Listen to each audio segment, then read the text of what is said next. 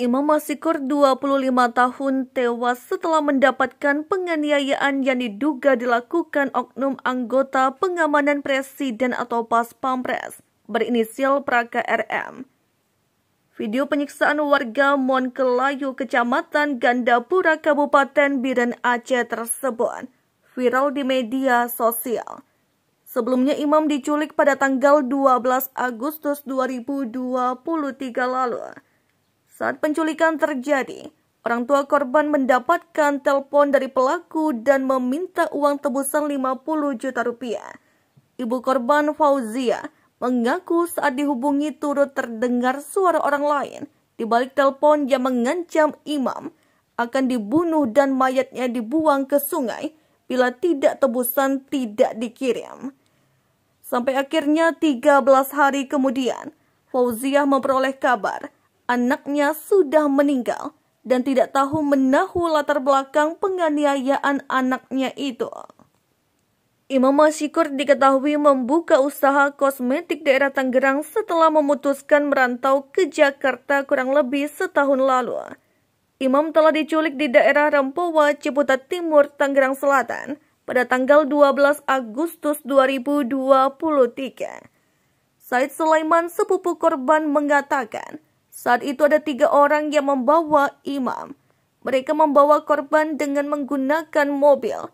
Korban tampak dibawa paksa ketika dimasukkan ke kendaraan. Selang beberapa jam kemudian, sekira pukul 19 sampai 20 waktu Indonesia Barat, Imam menghubungi Said dan mengaku telah mendapatkan penganiayaan dari para pelaku. Pelaku pun mulai mengintimidasi keluarga korban. Mereka menelpon keluarga imam sembari mengirimkan video penganiayaan yang sudah dilakukan. Pada video tersebut yang viral di sosial media, punggung korban tampak penuh luka dan memar. Pelaku juga bertelponan dengan ibu imam, Faujia. Pada Faujia, pelaku berujar jika tidak mengirimkan uang tebusan 50 juta rupiah, maka anaknya tersebut akan dihabisi dan mayatnya dibuang ke sungai. Bukan hal mudah bagi Faujia untuk mengumpulkan uang sebanyak itu karena kondisi ekonomi. Imam juga mengatakan pada Said jika dirinya sudah tidak sanggup lagi dengan siksaan yang diterimanya dan ingin mati saja. Di sisi lain pelaku terus mendesak agar korban secepatnya ditebus dengan 50 juta rupiah.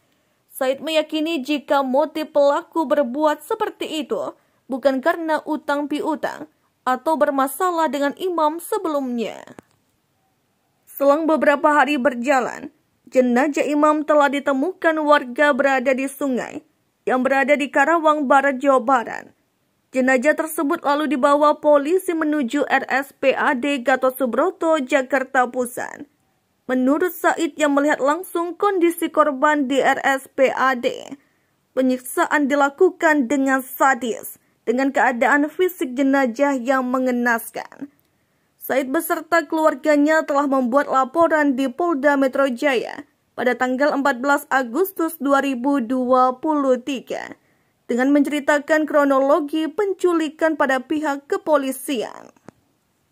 Pihak keluarga lantas dihubungi Pomdam Jaya pada Sabtu 26 Agustus 2023 bahwa pelaku penganiayaan ditangkap dengan inisial Praka RM, seorang pas pampres beserta dua orang lainnya.